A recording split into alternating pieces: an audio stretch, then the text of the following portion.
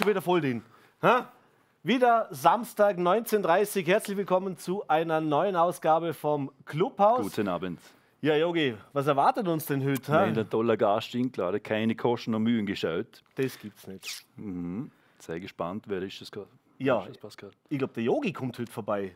Was ist das so? Ja, Yogi, herzlich willkommen im Clubhaus. Yogi, hallo.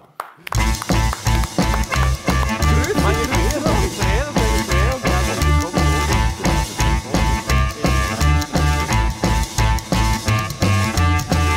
Ja, herzlich willkommen. Der Yogi aus dem Bregenzer Wald trifft auf den Yogi aus dem. Hey, es Endlich ist es so weit. Wahnsinnig. Wie tagt's dir? Clubhaus, du bist ja wie gemacht für diese Couch. Die Couch ist groß genug, das Bier ist kalt. Also es kann nicht besser. Ja, den müssen wir fast anstoßen. Ja. Zum Wohle. Wohl. Zum Wohl. Danke fürs Zum Kommen. Wohl. Zum Wohl, Yogi. zum Wohl. Zum Wohl.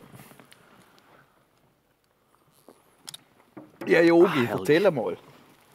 Was treibst du alles? Ja, dann auf den Zeugmetzger.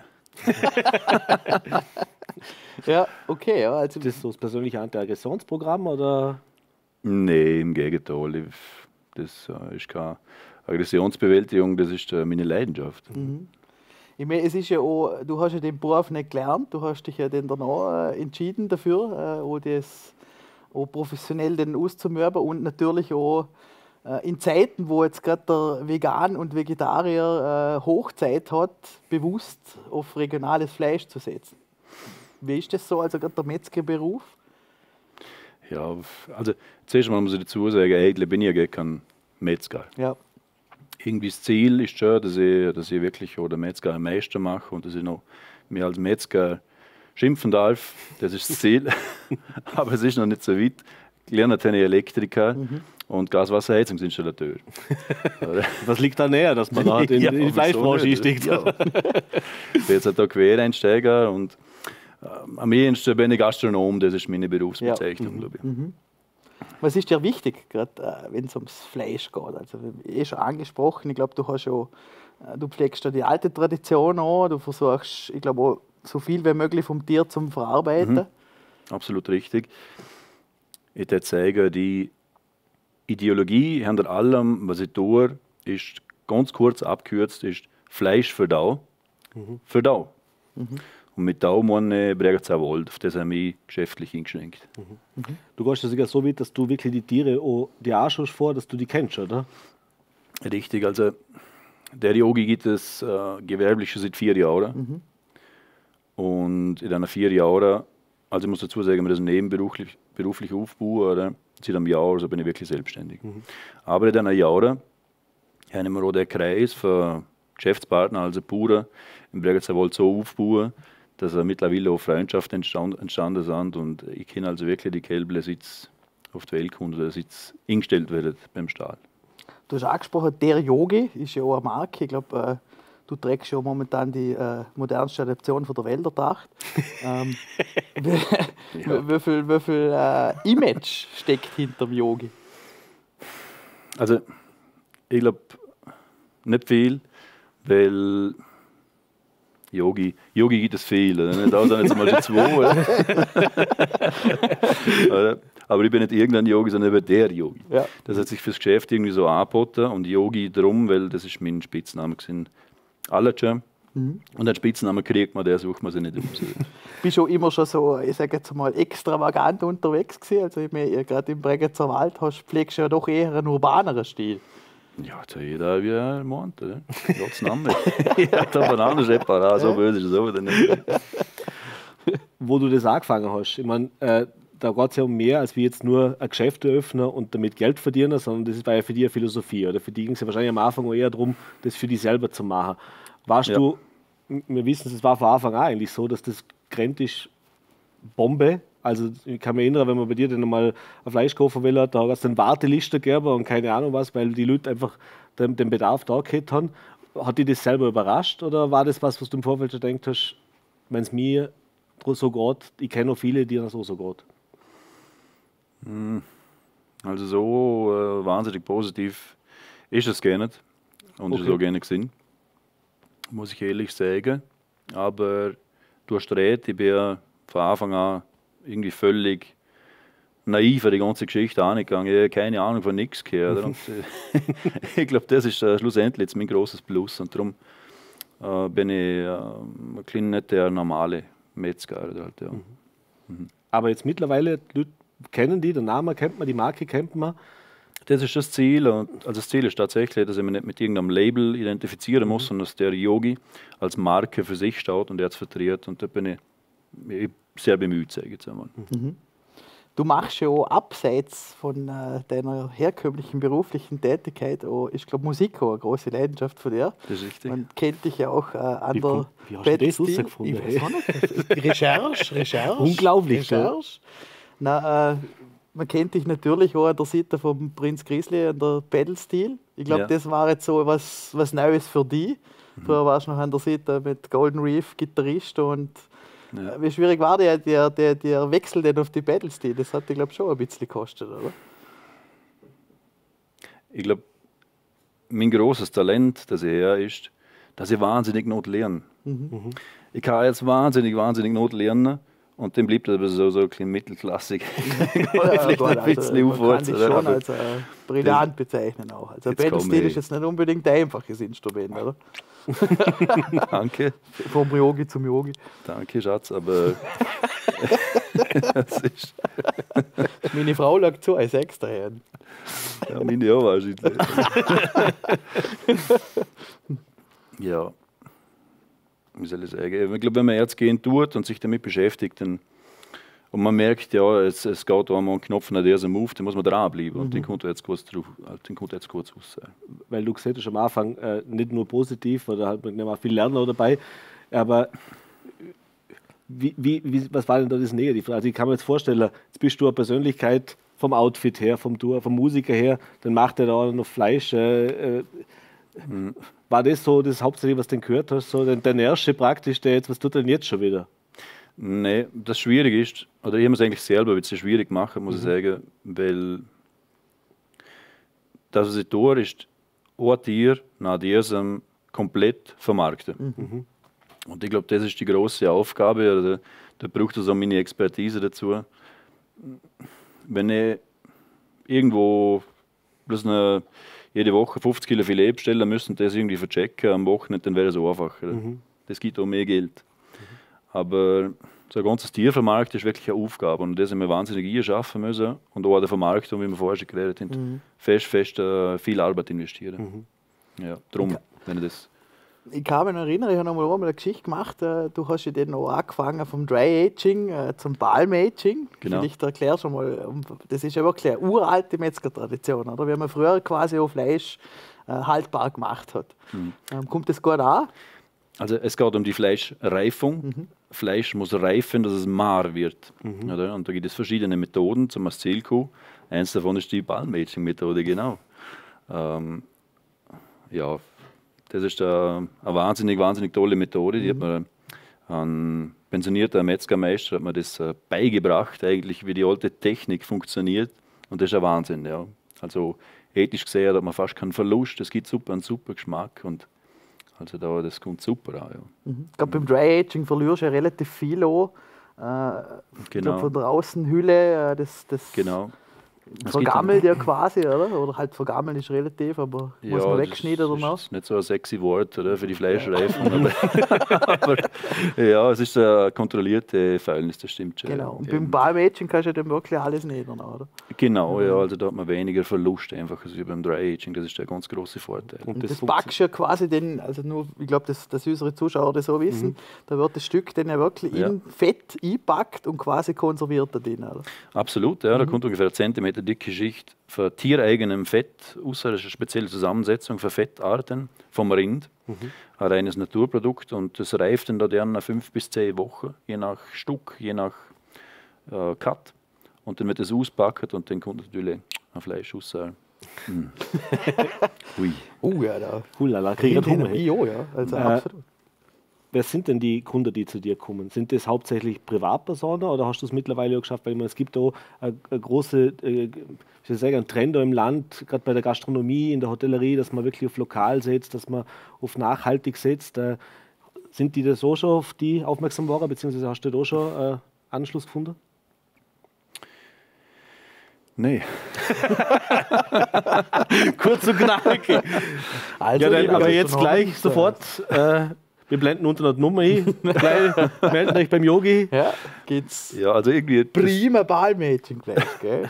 das, das Schöne daran ist irgendwie, während ich an meinem Geschäft, das ist, es wächst langsam, aber stetig.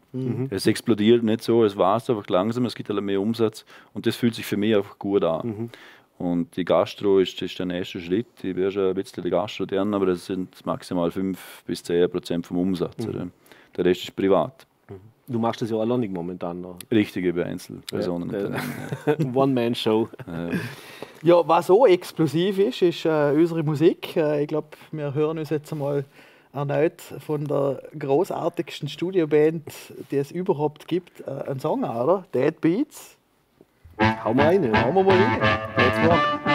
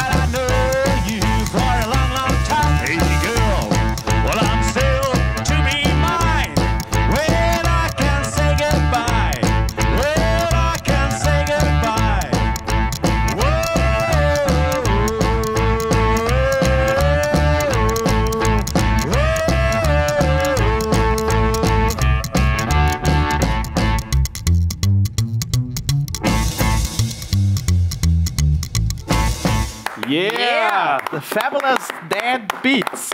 Vielen lieben Dank. Ja, wir wählen uns zurück im Clubhaus, das sich inzwischen in eine äh, Metzgerstube verwandelt hat. Und werden würden jetzt Pascals Schwartermager auseinandernehmen. Na, Jogi, was haben wir denn da Feines? Was zeigst du uns da? Nein, der wunderschöne Stück, das ist das Schulterblatt. Das liegt genau bei dir, also wenn du da einmal kurz auf die Seite drehst. Schulterblatt, wenn sich jeder selber Rücken angreift, also wirklich der Knochen, wenn man sich vorstellt, dass man der da rausschält, der kann man wegschälen von dem Muskel und dann kommt darunter zwei Muskeln für. Das Schulterblatt und das Schultermeisel. Wenn man trainiert ist. So wie, so wie die Yogis. halt. Du hättest beim Roter Mager, aber die hätte nicht Metzger. Danke. Endlich. Boah, sehr schön. Ja, das, ja. unglaublich, Ja, Komplimente. aber auch zu wenig ihr. Sehr ja. Das ist das beste Schmorstück, eines von besten Schmorstücken, das es gibt. Übrigens gibt es auch, ich mag ja den Leuten sagen, wenn sie ein Stück Fleisch bei mir kaufen, wie sie das perfekt zubereiten sollen. Darum gibt es auf der Yogi Homepage, deryogi.com. Schleichwerbung. Gibt es, ähm, Wir sind Privatfernsehen, da ist alles erlaubt. gibt es Rezeptvideos, unter anderem der Yogi zeigt dir Schmorbraten. Da mache ich genau das Stück. Das könnt ihr gerne mal anschauen. Aber im Sommer mm, oder Ende Sommer, jetzt im Spätsommer, wollen die Leute einfach, wie ihr vorher auch gesehen habt, redet viel Kurzbratstücke, also Steaks. Und da kommt meine Expertise ins Spiel, nämlich kann man aus ganz vielen Cuts vom Rind nicht bloß Bräuter, Schnitzel und Kohle schneiden, sondern auch exklusive Steaks. Und das sage ich jetzt genau, was man da aus dem Schulterblatt alles machen kann. Sind wir gespannt. Ja. Leg los. Ja. Machen wir mal auf die Seite da. ha? Nee, Ja, das, das ist, das wäre aber nicht mehr, Jogi. Nein, nein, das ist nicht so böse. Da der Mitte durch geht ganz eine dicke Flachse.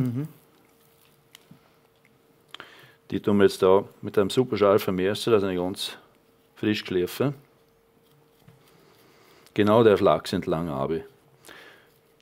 Das Fleisch dohle. Das wäre man- jetzt wie die Schulter bei dir ausschaut. Ja, Ja, das ja, wisst ja. also das ist das Fett. Oder? Was hat, Das, ich glaube, Bismarck hat mal gesagt, alles unter 300 Gramm ist Aufschnitt, oder? Da ist der Spruch gegangen.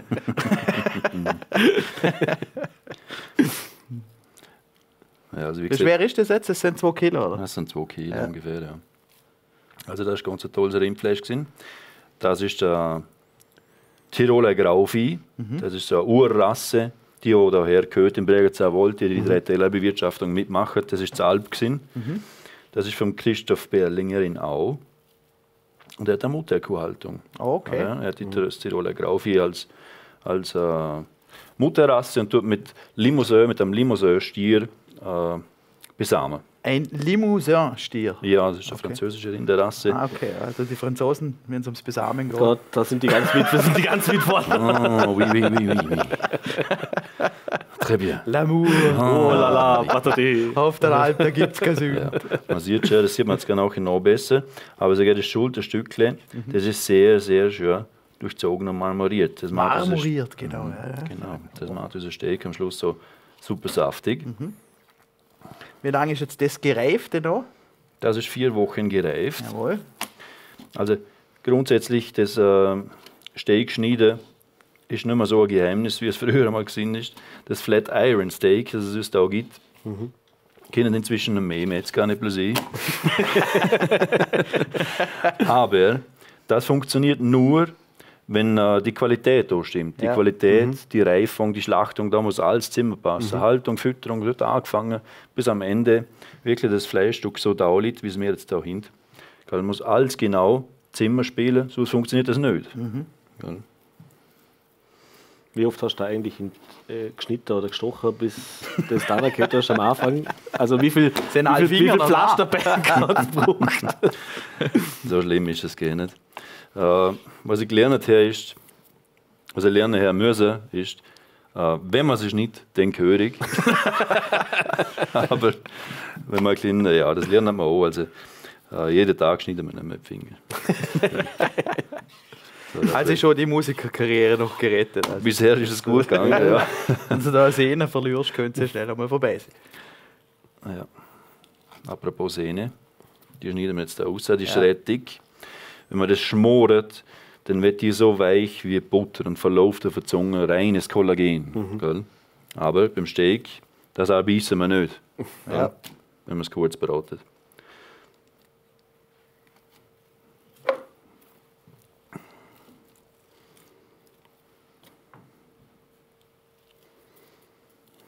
Ja, wir bauen einen Clubhausgrill, glaube ich, Definitiv. wenn ich das so sage. Oder? Das, Ist das nicht ein Traum? Ja. Da bin jetzt ein bisschen über die Tiefe gekommen. Aber vorgeworfen wird nichts, das ist schon klar. ja. Der hat gesagt, die Flachsen ausschauen.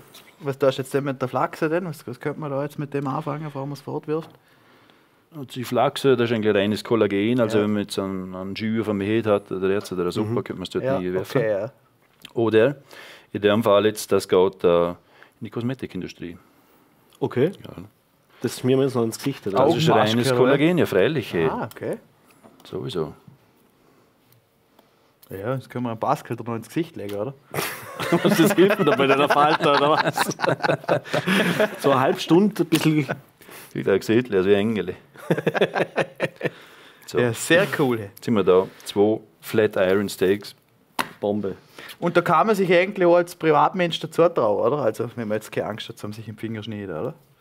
Zum das äh, separieren, Selber machen, ja. das tue doch ich für dich. Okay. Yogi. Du Das jetzt nicht. für dich. Du musst es grillen. Okay? Gut. Und das ist schon schwer genug, Das man dass es nicht verbrennt. Ja, aber da kommst du ja dann du auch mit deinen äh, Gartipps daher, oder? Genau, Gerade mit solchen äh, Dimensionen. Genau, Deppen absolut. sind zum Beispiel so Niedriggarn davor oder wo Genau. auch, je nachdem. Entweder rückwärts gehen, Ja, genau. aber bei so einem Stück zum Beispiel, wenn du für die bloß ein Stäbchen mätest, hätte dir da also 400 Gramm Mara weg. Mhm. Und das Wichtigste ist da, wenn du so ein Stäbchen machst, salzen. Immer vorher Mhm. So, salzen. Tatsächlich, weil das ist schon so eine Philosophie, oder? Davor, Ja, oder davor. Ich sage das jetzt noch einmal. Vorher, Oh, zu. vorher salzen und dann lässt du es genauso an Mhm. und lässt es eine Stunde außen akklimatisieren. Du hast einen Nudelsieb drüber rum, dass keine Flüge angegangen, keine Ja, Katze. Und dann kannst du nichts mehr falsch machen. Okay, Ja. ja. Wenn das Fleisch Raumtemperatur hat, gesalzen, zwei, drei Minuten pro Seite scharf angrillen oder braten in der Pfanne, Mhm. egal wo. Kurz rösten, lauf fertig. Das Steak ist am besten Medium Rare. Wunderbar. Grandios, hey, vielen lieben Dank. Also, das ist ja Jetzt haben wir unglaublich. was gelernt heute, oder? Das ist ja hey, unglaublich. hey. Großartig. Jetzt, äh, ich glaube, jetzt hast du fast. Mögt ihr probieren? Ja. Kamera auch, oder? ich nehme schon ein Carpaccio, oder? Das ist, ja, das ist so ein kurzfaseriges Stück. Ja.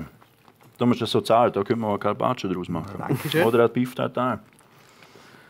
Oder wenn wir, wieder die, wenn wir wieder die Hassmails von der Veganer kriegen. Aber Ja. Ist wirklich gut. Da merkt man schon die Qualität, ja. Ein toller Geschmack. Ja. Und ist auch sehr zart, oder? weil es so kurzfaserig ist und gut gelagert.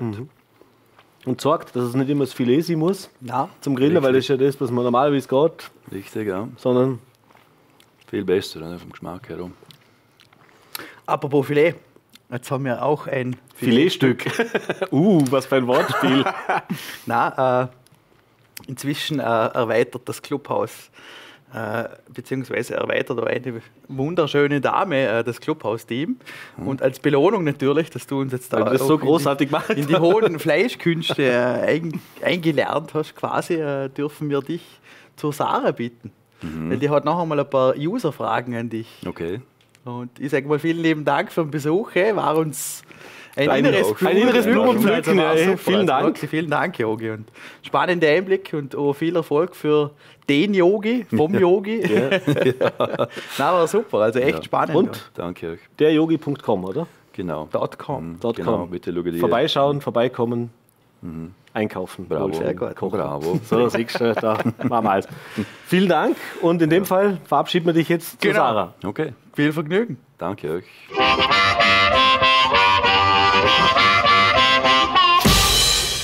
Ja, hoi Yogi. Hallo Sarah. Ja, schön, dass du bei mir bist. Freut mich auch, danke. Und übrigens, äh, Yogi und Pascal, Filetstück bin ich Kurs, gell, im Fall. Ganz flach heben der Ball dir nicht, Jungs. Ja, dein Filetstück habe ich bewundert. Hast du gut gemacht? Anmächelig, vergiss darf man sagen, ja. bei uns. Ja. Darf ich da ein Bier kredenzen, Yogi? Bitte schon gehen, ja, Durst. das freut mich. Erzähl mal im Wald, wie läuft das? Ja. Wir haben uns ja auch schon länger nicht gesehen. Schon will her, ja. Ja, schon eine Weile her, ja. Und ich darf dir jetzt nachher ein paar User-Fragen stellen. Bravo. Ja, was denkst du, was fragt man die so?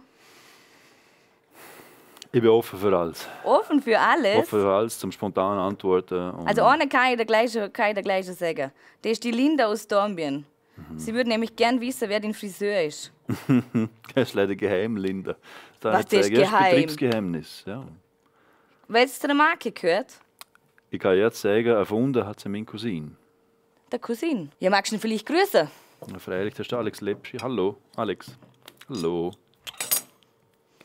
In dem Fall zum Wohle mal, Yogi. Zum Wohl. Auf uns. So Auf jung kommen wir nur zusammen. Auf Aufs mich? Filet. Aufs Filet, ja. Nicht auf mich.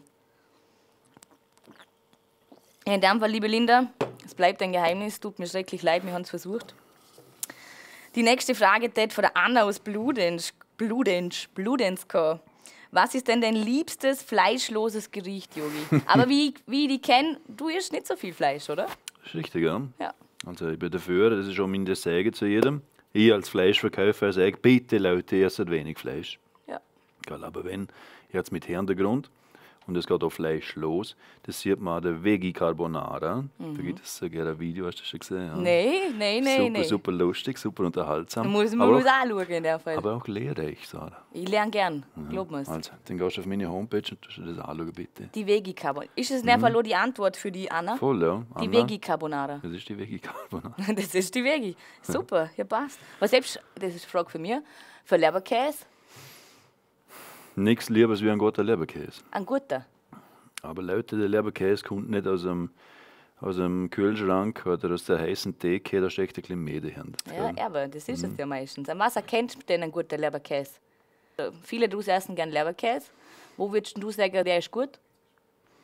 Er muss regional sein, Sarah. Man kann, also ich tue jetzt niemandem sagen, magst du so und so. Ich habe meinen Weg gefunden. Ja. Der tue ich, also ich probiere mir zum selbst treu bleiben. Der ist wichtig. Das ist wichtig, ja. Ja. Und, aber was man da ist, wenn man in eine Metz geht, man da mal fragen, woher das Fleisch kommt, wo im Leberkäse drin ist. Das Also ist würdest du sagen, legitim. regional. Genau. Das ist ja. wichtig. Passt, dann machen wir weiter mit dem Marco aus Hohen Hohenweiler. Er fragt, wie grillt man ein perfektes Steak? Aber haben wir gerade vorher eh schon gehört, oder? Ich höre alle Antworten, Sarah, Sarah, auf Video. Ja, das ist mir jetzt aber wurscht. Du bist ja meine Bar, Yogi. Ja. Ja.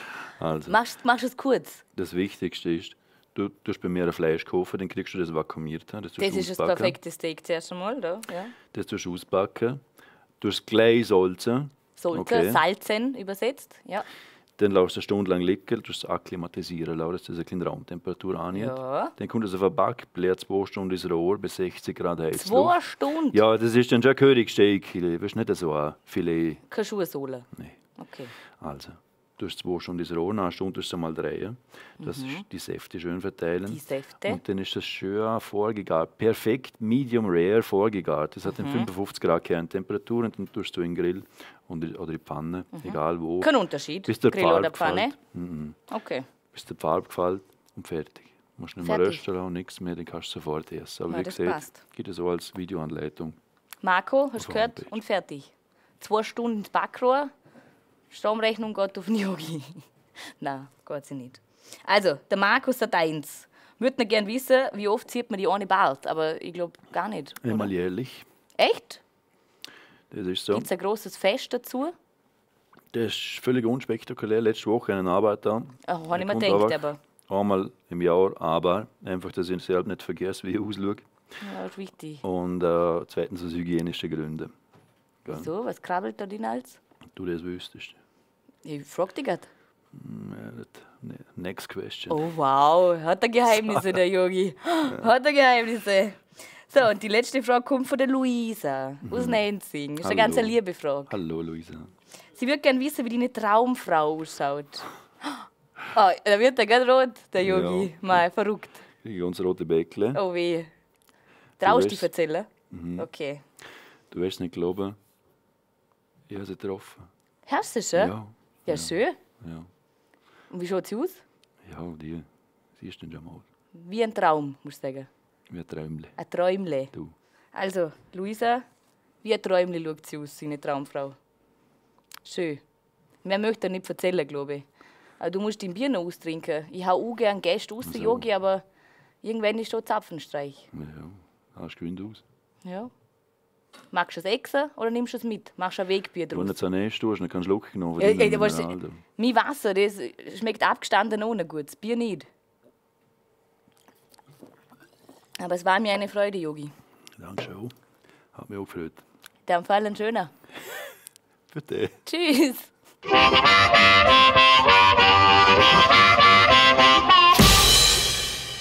Ja, Yogi, spannend. Spannender Einblick in die Welt des jetzt Fleisches. habe ich endlich mal einen Yogi kennengelernt, der auch was kann und nicht bloß so Ja. große Goschen. Nicht nur große Pappen, oder? ja, Apropos große Goschen. genau. We proudly present ein Fixpunkt der Sendung. Viel Spaß mit dem Alpenstadt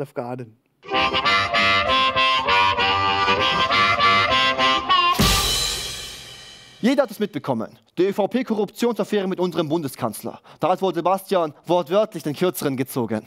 Ein großes Tohuwabohu. Doch was überhaupt so schlimm daran? Einmal hat er irgendwelche Umfragen gefälscht, damit er besser in Österreich ankommt.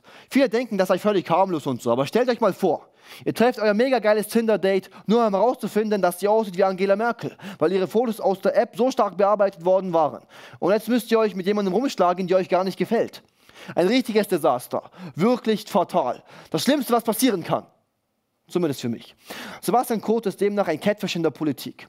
Aber unser lieber Kurz hat dafür nicht mal sein eigenes Geld genommen. Aber das kann ich schon nachvollziehen. Als Bundeskanzler verdient man ja nur läppische 22.000 Euro im Monat. Wir wollen ja nicht, dass unser liebe Sebi kein Geld mehr für Hagel hat.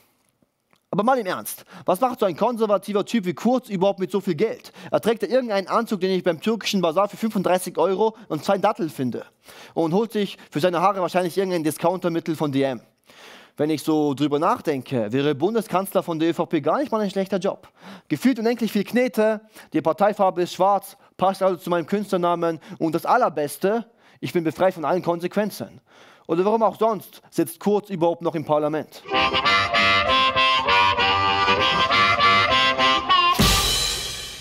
Puh. Jo, jo, jo, Ja. ja. Kontrast pur in dieser Sendung. Äh, Gott. Höhen und Tiefen, von links nach rechts, von oben nach unten. Also jetzt haben wir Fleisch gehabt, jetzt haben wir Lyrik gehabt, beziehungsweise Satire. Jetzt kommt die Lyrik jetzt eigentlich kommt erst. die Lyrik.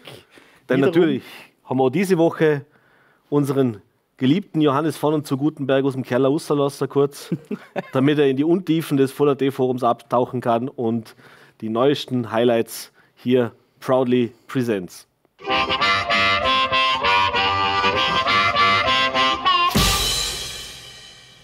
Mein Name ist Johannes von und zu Gutenberg und ich darf Sie wieder zu einer neuen Lesung begrüßen aus dem Buch der Gelöschten. Vers 1. Liebes Vollerte, ich kann keines, aber wirklich keines meiner Postings online lesen. Warum? Wisst ihr was? Ihr könnt mich mal und ab jetzt schaue ich diese Schmutzseite nicht mehr. Danke dafür. Endlich darf ich frei sein, ihr Schaumschläger. Ha, ha, ha, ha, ha. Also lieber User, ich glaube, Sie waren auch davor schon frei, unsere Seite nicht zu lesen, bevor wir Ihre Kommentare löschen mussten. Vers 2.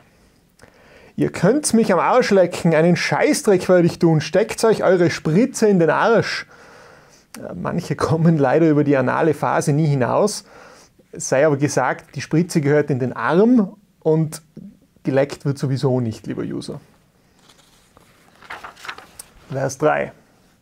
Ich habe einen Impfpass mit 30 Schuss Magazin. Und der Verfassungsschutz spätestens jetzt ihre Identität sowie wahrscheinlich Interesse an einem Hausbesuch. Viel Vergnügen. Vers 4. Es wird Zeit, dass wir uns zur Gegenwehr setzen. Dieses Verbrechen an der Menschheit ist nur möglich, weil die Medien alles mitmachen, was man ihnen vorgibt. Wir müssen die Medien jetzt dazu bringen, dass sie unsere wahrhaftigen Wahrheiten verkünden und das können wir nur erreichen, wenn wir immer das Doppelte zahlen wie die Bundesregierung. Ihr dürft nie vergessen, Medien sind Geldhuren, zahle das Doppelte und sie sind auf deiner Seite. Die wahrhaftigen Wahrheiten unserer gelöschten User. Ich glaube, es wird wirklich Zeit, dass wir uns setzen. Am besten auf die Clubhouse-Couch und ganz tief durchatmen. Ich wünsche Ihnen allen noch einen schönen Abend.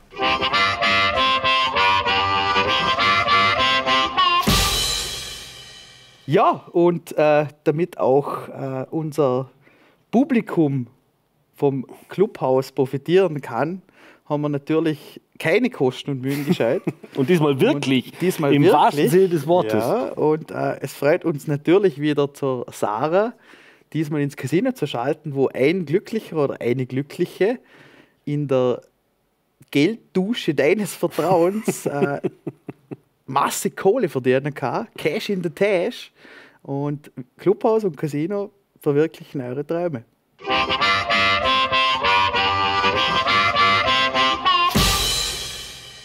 Ja, heil, ich bin Christina, komme von Lutherach und ich habe da mitgemacht, weil ich mir Glück versuchen wollte. Ich will mir einfach mal einen Shopping Day und einen Beauty Day gönnen. Ja, Christina, freut mich, dass du bei uns bist, freut mich, dass du dich beworben hast. Und am Beauty Day, das können wir alle mal wieder brauchen, glaube ich. Ja. Ja, ich drücke dir ganz fest die Daumen, dass ein Geld sein kommt. Danke. Irgendwas gewinnst garantiert. Das Glück ist auf deiner Seite hoffentlich. Ich bitte jetzt einmal in die Glücksdusche und hoffe, dass wir deine Träume verwirklichen können. toi, toi, toi, Christina! Dankeschön. Oh Gott. Los geht's! Und die ersten Scheine sind drin. Super! Sie hat eine Taktik auf jeden Fall. jetzt. Das macht sie gut, das macht sie gut. Das macht sie super. füllt sie fleißig. Es sind noch sieben Sekunden. Vier, drei, zwei, eins und vorbei. Oh, sie macht die gute Taktik. Jetzt, steck halt ihnen noch was in der Hand hast. Musst nicht ins Kästchen stecken. Ja, hey. Mal ganz was Neues. Super. Christina, komm raus. Das Kästchen ist voll. Hey, voll gut. Das hast du cool gemacht. Danke. Ihr seht, wir gehen gleich mal erzählen, oder? Ja. Super. So, Christina, dann schauen wir mal, was du gewonnen hast. Zählen wir mal zusammen. So, 10, 20, 30, 40, 50, 60, 70, 80, 90, 100. 100 hast du mal sicher in deiner Geldtasche.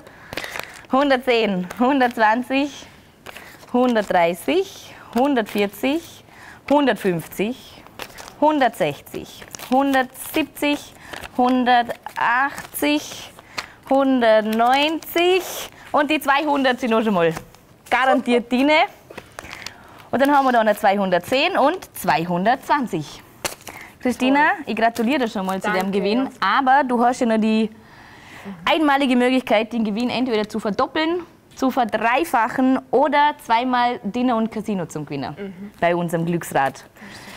Dann versuch mal die Glück.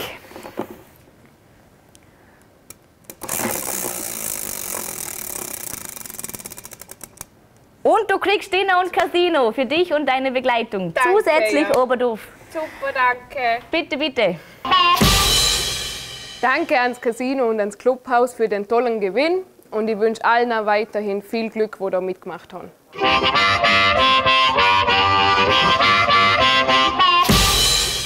Ja, lieber Pascal, leider, es ist schon wieder fast vorbei. Echt, oder?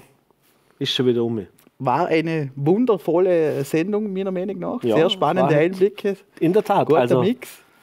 Was man alles erlebt dahinter, oder? So ist es. Wer hätte gedacht, dass man da mal Fleisch zerlegt? Ja, wer hätte das Also, dass man gedacht? die mal zerlegt Ja. oder so. Ja, aber hallo, das habe ich ja bei Toni Dasi schon gemeint, dass du jetzt mal zerlegt ich wirst. wäre dafür, dass du einmal dann geschlachtet wirst ja, oder so. Oder so.